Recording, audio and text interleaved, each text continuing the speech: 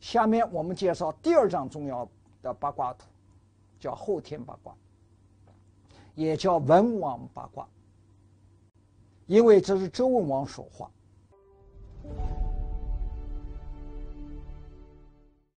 那么周文王是在什么样的条件下画了这张八卦图的呢？我们回顾一下历史。当年周文王还不是王的时候，他只是一个诸侯，叫西伯侯。当时真正的王是商纣王。商纣王的残暴，促使周文王想推翻他。他的这种动向。被商纣王察觉到了以后，商纣王大怒，下令把周文王抓了起来，从陕西的丰城抓到了河南的尤里城，把他投进了监狱，整整关了他七年。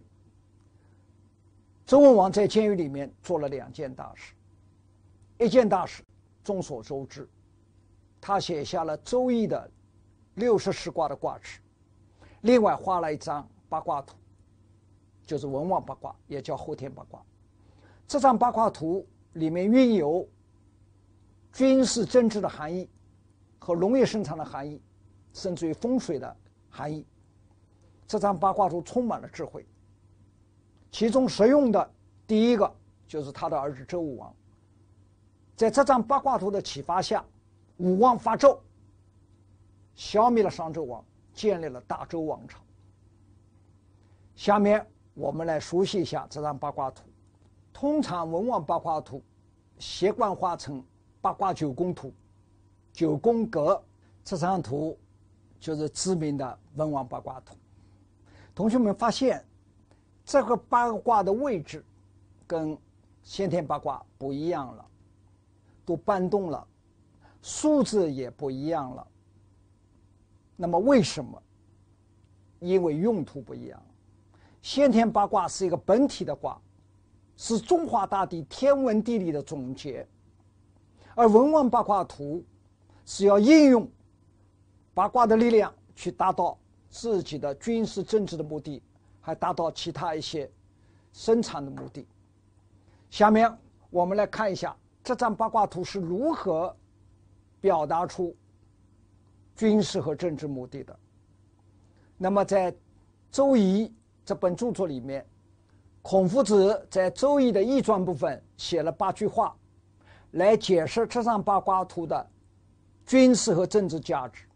第一句：“地出乎正。”未来的帝王要从正卦出发，也就是从东边春天开始。准备推翻商纣王的行动。下一个卦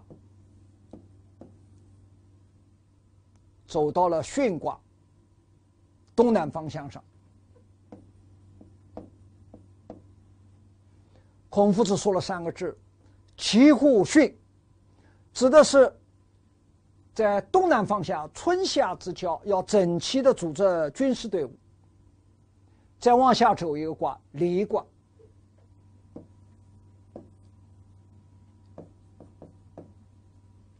孔夫子说了四个字：“相见乎礼”，指的是部队和部队在南方在夏天彼此见面，互相熟悉。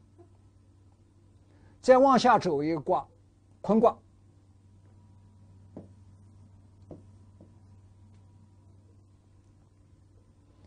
孔夫子说了四个字：“至于乎坤”，指的是在西南方向夏秋之交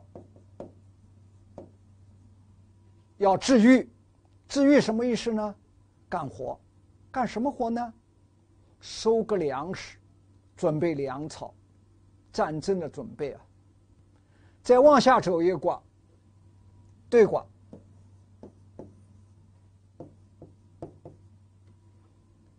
孔夫子又说了四个字：“说言语对。”实际上，这里要念成“欲言语对”，就是说，在西边，在秋天要说好听的话，预言；谁给谁说呢？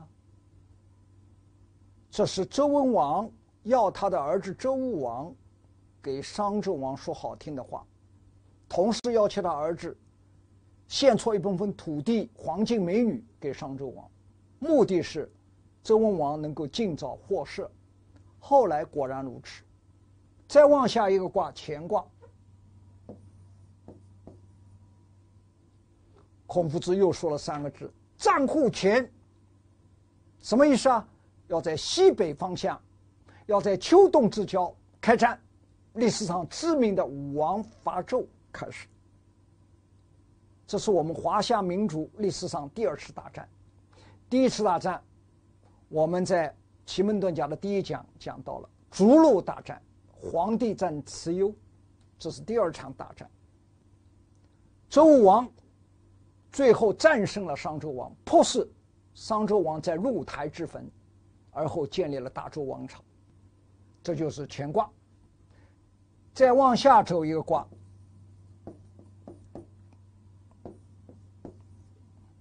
坎卦。孔夫子说了三个字：“老虎坎”，指的是要在北边，要在冬天要劳。劳有两个解释，一个是劳动，一个是犒劳。毫无疑义，这里指的是犒劳。因为战胜了，打赢了，犒劳三军。坎卦是水卦，意味着用酒水犒劳三军。再往下走一个卦，艮卦。孔夫子最后又说了四个字：“陈言互艮”，指的是要在东北方向，冬春之交，要建立新的政权。大周开国了，所以这张八卦图包含着丰富的军事含义和政治含义。当然，这张八卦图也可以解释整个农业播种、收获、储藏的整个过程。限于时间，我们不展开。那么，这张八卦图里面还有很多值得我们深思的地方。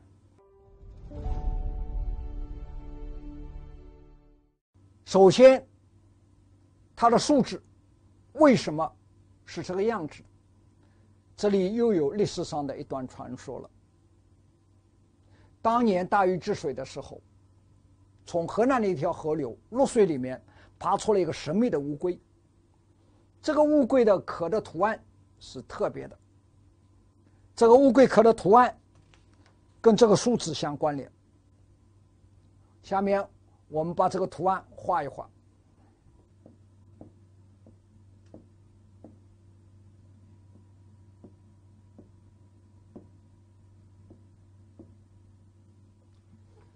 这张图里面出现了黑圈和白圈，你发现没有？白圈都是单数，一三五七九；黑点子都是双数，二十六八。然后你再来把这张图和周文王的八卦图的八卦数来对照一下，你发现恰好和这张图呼应。当然，这张图从今以后就叫洛书。所以周文王的八卦书来源于洛书，而且这个八卦书也很有特别的意义。同学们，我把这张八卦图分成两部分，黄线这一侧左侧一部分，在奇门遁甲里也可以叫左盘，剩下的右边，在奇门遁甲里也可以叫右盘。同学们，你发现没有？左盘的四个数字你一定很熟悉，八三四幺，恰好和毛主席的警卫部队的番号相同。另外的数字更好记了，因为这个八卦数有特点，两个卦对着相加的数字之和都等于十，所以你马上可以写出另外四个卦的数字九二七六。中央称为五，九五之尊，所以数字的特点，希望同学们能够记住。另外，它的数字的连线会让我们感到惊讶的，因为它是一个特殊的图案。下面我来把这个连线连接一下。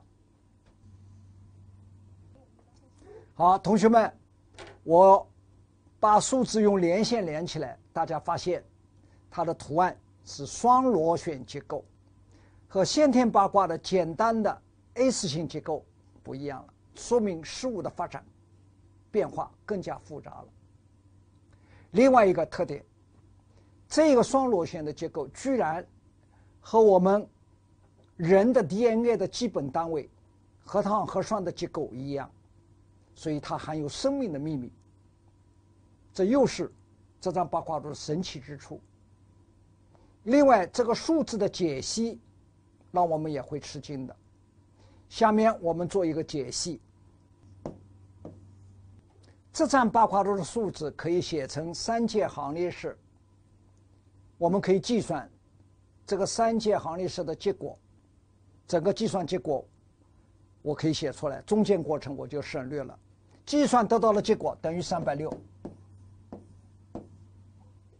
三百六是一个循环数，我们的圆从头到尾三百六十度，所以这张图说明是周而复始的图，反复循环的图。另外，坦率的讲，三百六这个数值还有神奇的地方，我们来看看单个数字加起来之和是什么。三加六加零等于九，三百六的一半一百八，一加八加零又等于九，一百八的一半九十，九加零又等于九，然后九十的一半四十五，四加五又等于九，四十五的一半二十二点五，二加二加五又等于九。好，我们再看一个，二十二点五的一半，十一点二五，我们把它加起来，十一点二五四个数字加起来又等于九，说明这张图数字有很大的神秘性，有一定的规律。我们再来看规律，两个卦对坐相加，数字之和都等于十。如果包括中间的五。相加的数字之和都等于十五，这两套数字的千变万化，未来就形成了围棋的原理和魔方的原理。所以这张八卦图，无论是政治、军事、人事、数学、生物、生命，都关联起来了。所以呢，这张八卦图能够被应用于奇门遁甲，也就不足为奇了。实际上。后天的八卦术除了跟洛书相关以外，它真正的跟天文现象，一个真实的天文现象是相关的。我们来看看这个八三四幺九二七六五这些数字是怎么呼应天文现象的。我把观察到的天文的星座写给同学们。同学们，天文学表明，我们在天空中观察到了。这样九个星和星座，和洛书是完全一样的，和文王八卦图数字也完全一样的。北极星北边一，对面的天际星座九，然后东边的河北星三个，七宫星七个，东南的死符星四个，西南的虎贲星两个，西北的天厨星七个，然后。东北的华盖星八个，说明文王的八卦术不仅仅是洛书的传说，更是天文现象的表现。所以我们说奇门遁甲的模型应该是个天地的模型，它不是孤零零的传说，而是有天文地理的依据的。所以这些知识、基本知识，同学们如果掌握的好，对于我们深刻的理解奇门遁甲它的含义。将来断事的依据会更加充满信心。关于两张八卦图的简要介绍，就讲到这里，谢谢同学们。